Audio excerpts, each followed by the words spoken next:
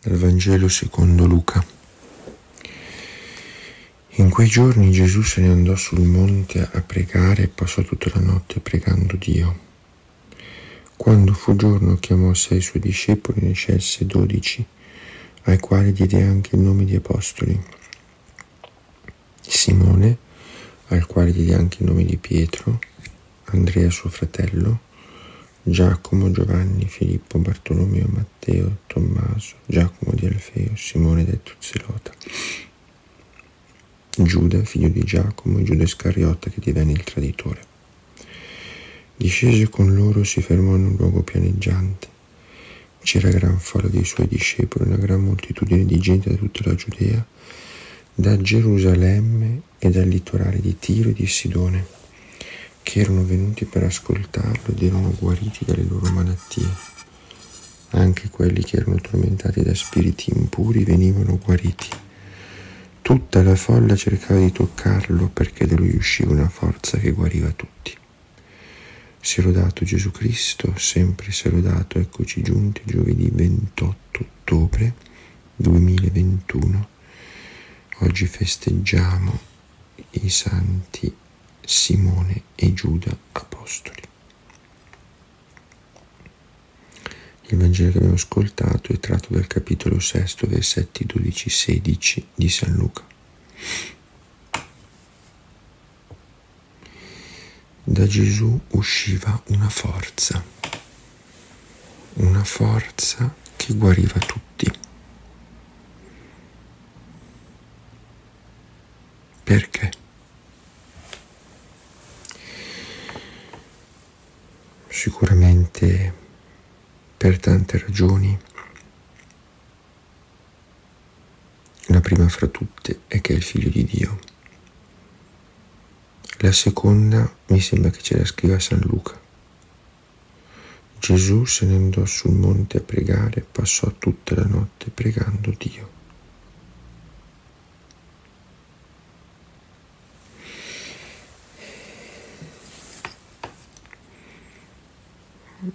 Per quale motivo dovremmo imparare a fare un pochino di preghiera notturna, perché l'ha fatta Gesù.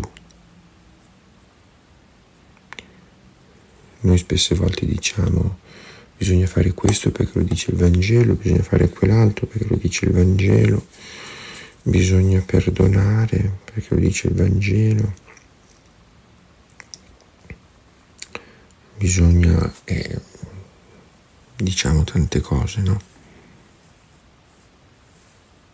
Perché le dice il Vangelo. Oppure perché le ha fatte Gesù. Però non si sente così di frequente dire che dobbiamo imparare a fare un po' di preghiera notturna perché l'ha fatta Gesù e nei Vangeli ritorna diverse volte questo riferimento alla preghiera notturna di Gesù, di Gesù che va sul monte da solo a pregare di notte o che si sveglia prestissimo al mattino per andare a pregare. Ecco, mi sembra che ci possa fare solo un gran bene.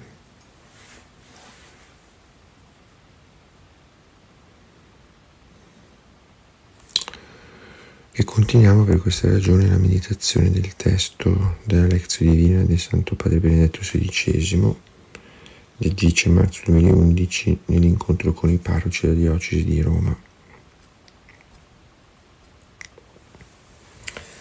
Scrive il Papa, abbiamo parlato di umiltà, di questa volontà di Dio che può essere dura. Alla fine il titolo di tutto il Vangelo della grazia di Dio è Vangelo, è buona notizia, che Dio ci conosce, che Dio mi ama e che il Vangelo è la volontà ultima di Dio è grazia. Ricordiamoci che la corsa del Vangelo comincia a Nazareth nella stanza di Maria con la parola Ave Maria. ma in greco è caire che caritomene. Gioisci perché stai nella grazia. E questa parola rimane il filo conduttore.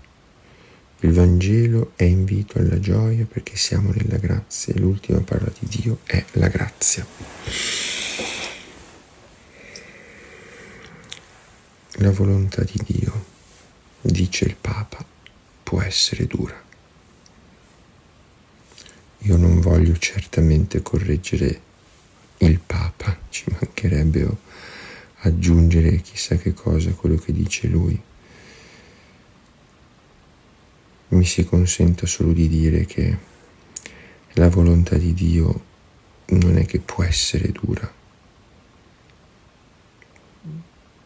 come se alle volte potesse essere morbida, diciamo così. Io credo che l'esperienza di tutti noi è quella di dire che la volontà di Dio è sempre molto impegnativa. Se guardiamo l'esperienza dei santi mi sembra di vedere che è durissima.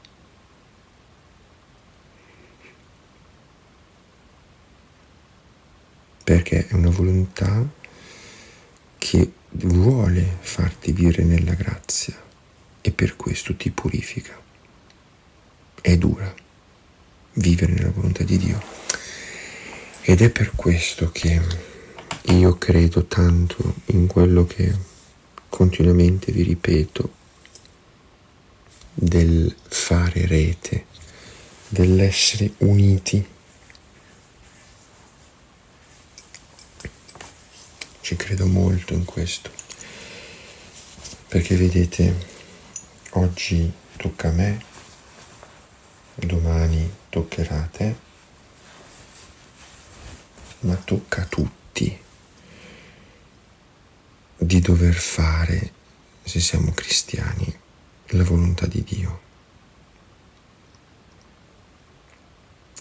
Essere uniti cosa vuol dire? Vuol dire che io ti sosterrò quando toccherà a te fare la volontà di Dio in modo forte e come fai a non accorgerti che una persona sta facendo la volontà di Dio in modo forte, no? Pensate a una mamma, a un papà che vive una situazione matrimoniale difficile e continuano a rimanere fedeli, ma ce ne sono tantissimi di esempi. L'esserci, essere lì accanto. A una mamma che accetta una gravidanza difficile, a una mamma che a una mamma e un papà che accettano una gravidanza magari non cercata, non voluta, inaspettata, una persona che deve affrontare una malattia importante, una persona che deve sostenere una scelta importante.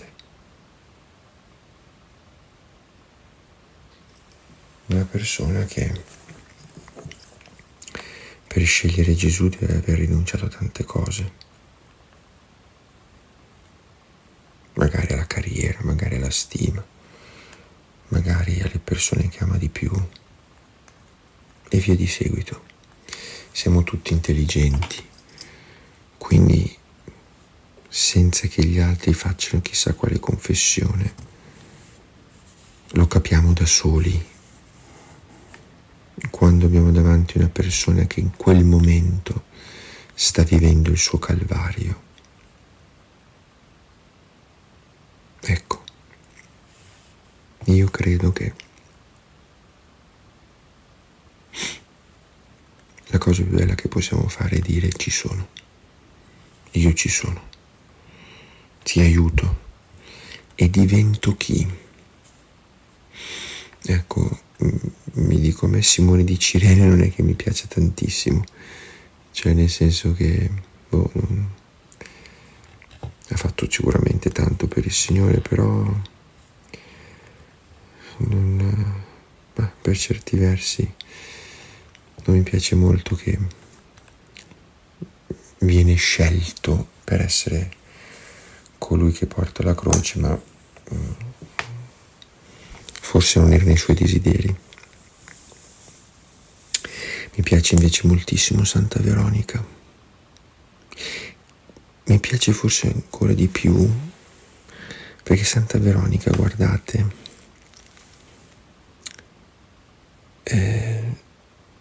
non fa niente di grandioso per il Signore, di spettacolare, no?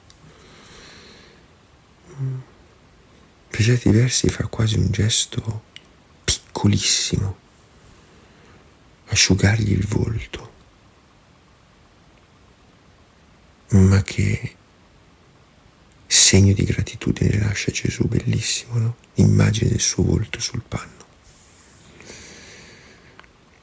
Noi possiamo diventare la Veronica nella vita di tante persone. Magari non siamo neanche in grado di portare la croce di queste persone perché è troppo pesante per noi.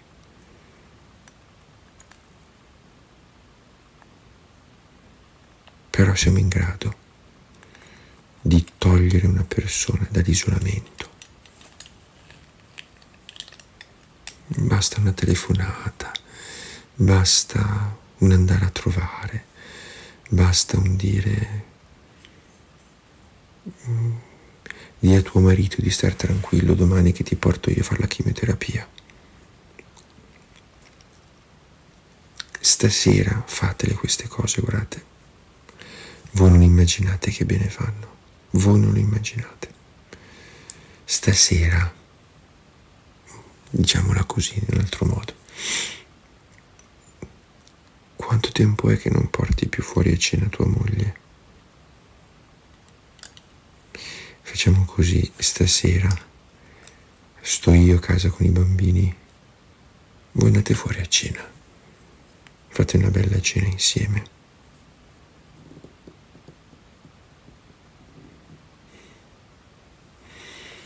Sapete, alle volte quando mi guardo allo specchio dico, sono un cristiano, sono un criceto. Io non voglio vivere la vita di un criceto. Non voglio vivere la vita di un criceto. Io ho avuto un criceto, ecco perché lo dico, quando ero ragazzo, ebbi un criceto. E lo guardavo questa bestiola. La guardavo già da bambino e dicevo ma... Ma che vita è quella di correre dentro una ruota, chiuso in una gabbia? Ma... Ma dove vai? Dovevate vedere quanto correva sto criceto. Era impressionante una cosa impressionante.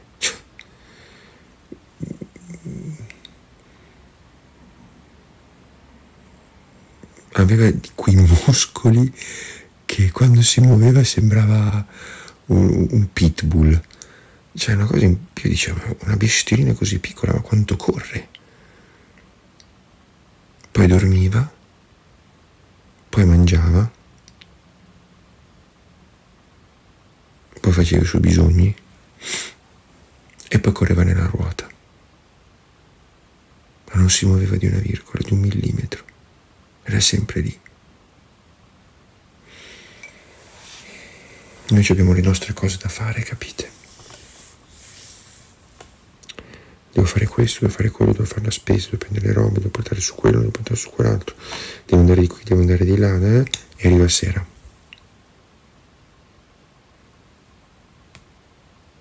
Cosa abbiamo fatto per aiutare gli altri a portare la loro volontà di Dio?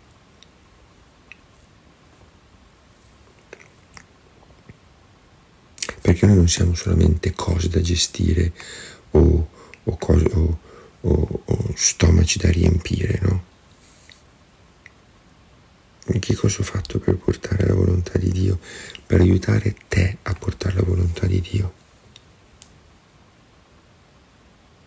Può essere, guardate, banalmente quel giorno portare fuori quella persona a mangiare un gelato. E ripeto, con quella delicatezza e quella grazia che non fa capire che voi state facendo i buoni samaritani, ma quasi il contrario, no? Che siete voi ad averne bisogno. Perché così non umiliamo nessuno.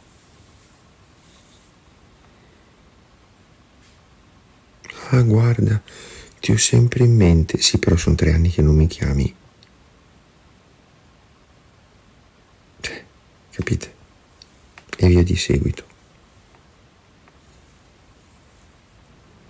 Ve lo dico sempre, anche inerente ai nostri sacerdoti. Non lasciateli soli, non lasciateli soli, non lasciateli soli. Fatevi presenti quanti sacerdoti soli che ci sono. Perché? Eppure quando abbiamo bisogno di confessarci, quando abbiamo bisogno di una parola, quando abbiamo bisogno di sacramenti, quando abbiamo bisogno... ci sono. Soprattutto no? per questi che ci sono.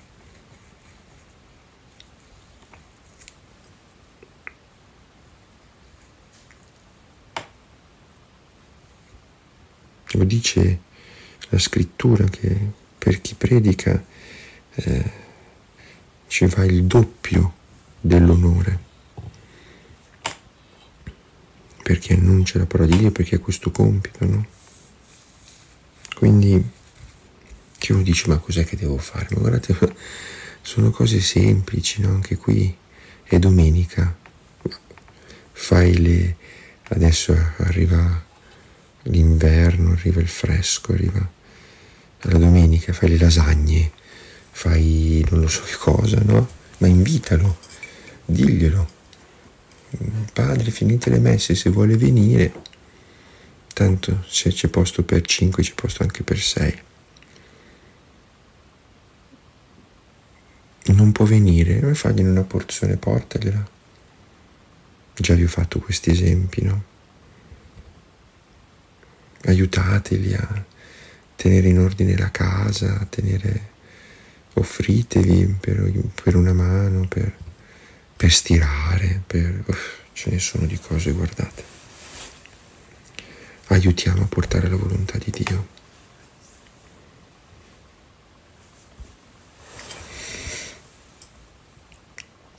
Mi fermo qui perché quello che viene dopo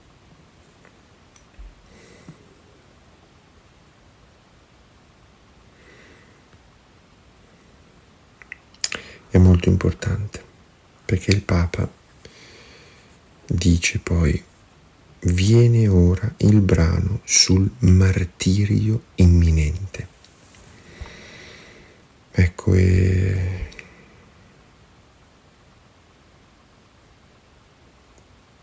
lo faccio la prossima volta perché mi sembra un testo molto denso,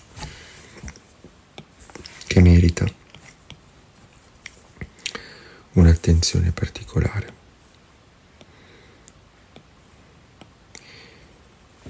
Benedicat vos omnipotens Deus, Pater et Filius et Spiritus Sanctus. Amen. Facciamo tanto riferimento a San Giuda Taddeo, un grandissimo santo, andate a leggere l'importanza di questo santo, delle cause impossibili Ecco, chiediamo a Lui un grande aiuto. Dio ci benedica e la Vergine ci protegga. Amen. Sia lodato Gesù Cristo, sempre sia lodato.